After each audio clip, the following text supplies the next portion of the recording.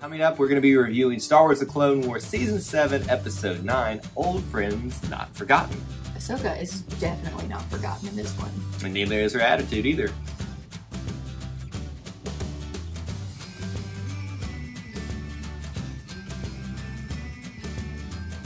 Welcome back to Eye to Eye, Disney Through Our Eyes. I'm Kyle. And I'm Jessica. And on this episode, it's time to review and give our five takeaways of the latest episode of The Clone War Season 7. This is Old Friends Not Forgotten. It's a play off of uh, the old Star Wars term there. Oh. Old friend. You know, Yoda said, old friends long gone or something like that. I was thinking it reminded me of the song you sing in Girl Scouts, you know. Do what? Make new friends but keep the old. One is silver, the other is gold. You know that song? How are, you amaze me on every single one of these videos. Like you bring in some reference from like I, it, when I woke up this morning, which is very early by the way, I had no clue you were going to be referencing Girl Scouts in this one. I mean, I'm just saying that's what the title reminded me What of. are you, are you going to like compare tagalongs to Ahsoka now? Like is that how this there are more to the Girl Scouts than just cookies. I, I understand that. just like there's more to Ahsoka than just lightsabers. I understand that, but what do you think of first when you think of the Girl Scouts?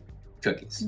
I mean, just I, I think of camping, but that's why I was a terrible Girl Scout. enough with the Girl Scouts. This is about Star Wars. All these people are like, what are you doing? You're making me hungry now. All right, so we do these a little differently, just like we did last time. We're just doing our five takeaways, but it kind of tells the story of this episode as we go throughout the way we break it down. Uh, so we'll kind of talk about each one of those points and uh, give you a big question at the end of this. So, Jessica, our first takeaway would be So, are we doing these in reverse order? yes, now five down number to five. one. Okay, so number five for us was the different feel from this beginning of a new arc to the last two arcs. So Yes. it just felt completely different. It started off with like the intro being different. I guess that's what you call it, the intro. I call Like it where intro. it says the Lucasfilm thing. Then my favorite, the Clone Wars, was in red. Why do you? Was it, what, I, I don't know. There's just some symbolism behind it. I have a concern that you're really fascinated with red things. Just that just means like it's Are you a Sith? intense. Are you a Sith? Yes. Oh, yes, you are. Call me Darth Jessica. I'm so gonna do that now. Okay. Now look, yes, eh, obviously the red symbolizes darkness. We know what's coming. This is leading up to episode three and all that kind of stuff. It intertwines, but you know, what is up with the whole Lucasfilm Limited thing at right. the beginning? There's no, I mean, they do have the, the coming up, you know, guy talking, but there's no quote at the beginning. It's not the, the usual happy, dun, da, da, da, da, da, da, you know, that kind of, that tone. It's completely different. I, I don't know if I like that or not. I mean, I guess. I'm not mad about it. My question about this is, is this like a whole, are they going to take this arc of four episodes here to close out the Clone Wars and make like a separate, like, film about it like put them together and make it call it the siege of mandalore i mean because it feels so I feel like different. that's way okay. That we just took a turn. i'm just saying really sharp turn. Just- that's what it feels. This feels like a completely separate season within this season. The way this whole thing opened up, there's a there's a huge time jump too. Yeah, I mean, Anakin's hair is longer. Everybody looks different. It just doesn't feel the same.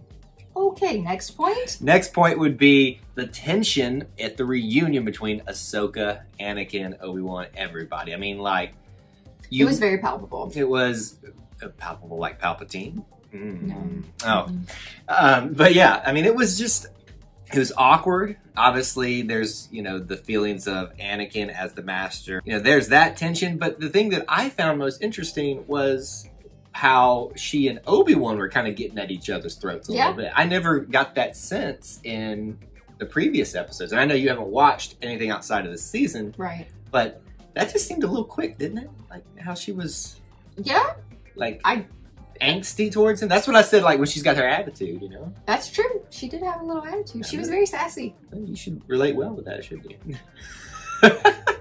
It is like six o'clock in the morning. I am not going to survive this episode No, now at not. this point.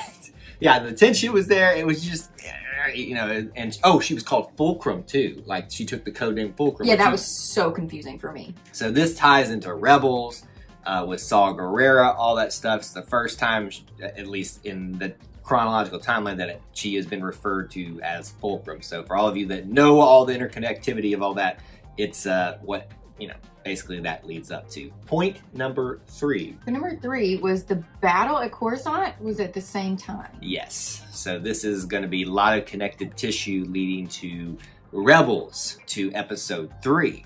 So literally, as the reunion is happening, we have a big. You even commented on the siren. You're like, "Is that a dinosaur?" Yeah, it just sounded very weird. Like in the middle of Anakin giving her this prize, it was like, Wah! One more time. How was it No. again? She's referring to the sirens we all know from Star Wars. Like, think about it. yeah, when- we all know. But think about it, like, okay, think back to episode four, the Death Star, when it's about to fire, it goes, ooh, ooh. Don't remember that. Not at all. Just went over you. Well, Mhm. that's what the dinosaur is to Jessica.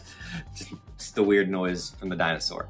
Um, but yeah, so this leads into episode three, all that, the Battle of Coruscant, where how they open up episode three. And I think, you know, I was a little sad because I guess this means that they're going to be separate. It's fine, but I was kind of hoping to see Anakin and Ahsoka together again one more I time. mean, you can't have everything.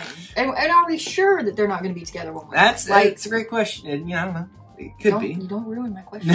I'm not going to take it away from you. The other thing to note from this is that uh, Commander Cody is also not Commander Cody, but Captain Rex becomes commander because Ahsoka cannot take the lead on this Right. thing. So uh, there's all this going into play here. The 501st is split up. They have their. How'd you like their little helmets? oh, where they looked just like Ahsoka? Yeah. I thought that was really cool. I, it It was was a really nice tribute. It's I think it's what sets apart the clone troopers from the stormtroopers. You know, there's some fondness there. They're just not stoic soldiers that shoot aimlessly at things. That's what I That's like. what I would do. You took the words right out of my mouth. I mean, I'm just saying, if I was one of these people, I would just shoot aimlessly because I would have no hope of surviving. Point number two: Ahsoka still has it as a Jedi. I mean, I say as a Jedi because she's not a she's Jedi, not a Jedi. but she just has their powers. she's got them skills, man. I mean, I was impressed. What did you think about her? So I loved how she was like very, I don't know, maybe the word's unselfish when she was using her powers. yeah, Like when she got the guy out of the ship. Mhm. Uh, I don't know what that thing's called, but anyway, you know, she took the, she took her lightsaber and like cut him out because he couldn't get out and save himself. So I just I like that she uses her powers for good and Well, not evil. So I mean, the rest of the Jedi do, Mm, but Anakin, have you met him?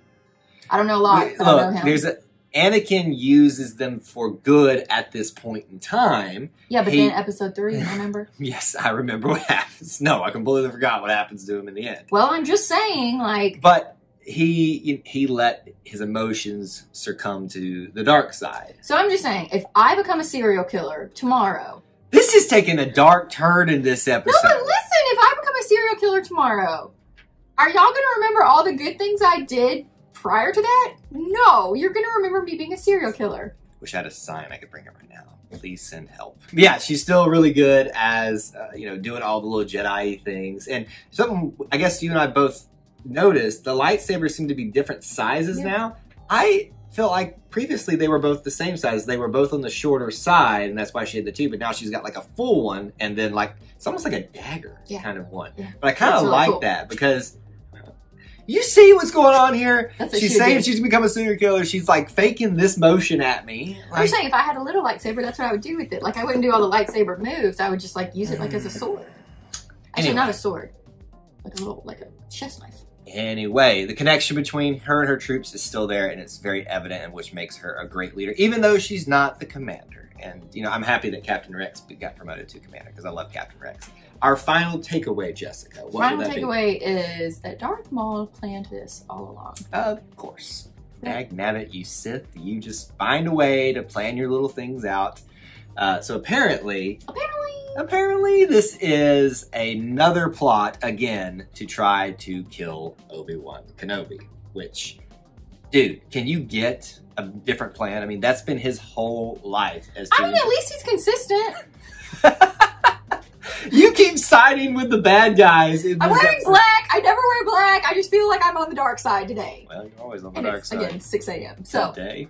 Yes. So the Dar- Darth Maul is back again. He's trying to kill Obi Wan again. And he even says when he traps uh, Ahsoka and the rest of the troops down below. A quick note: It seems like Captain, excuse me, Commander Rex died.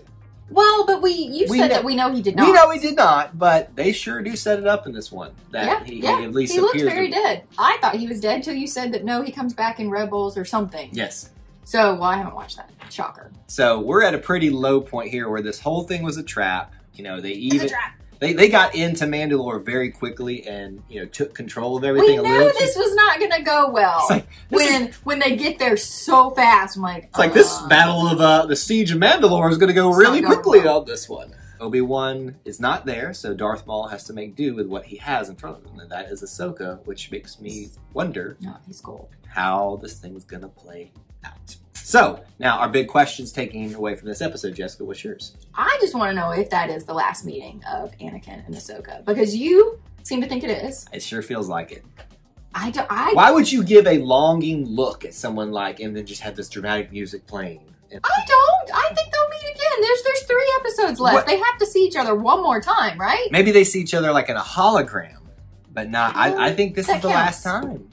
I'm, I'm just saying. I, my, mine is related. My final question out of this is: Will any of the Jedi come help? Because I think they're going to kind of have to the way things are now. I know Ahsoka is capable. So is Bo-Katan and her rebels from the Mandalorians. I just there's got to be a little bit of assistance from the Jedi, Yep. and I'm wondering if that's what we're going to see going forward. So that is our big takeaways from five of them from this episode of the final arc Clone Wars season seven. We're in the final countdown right now. There's Finally.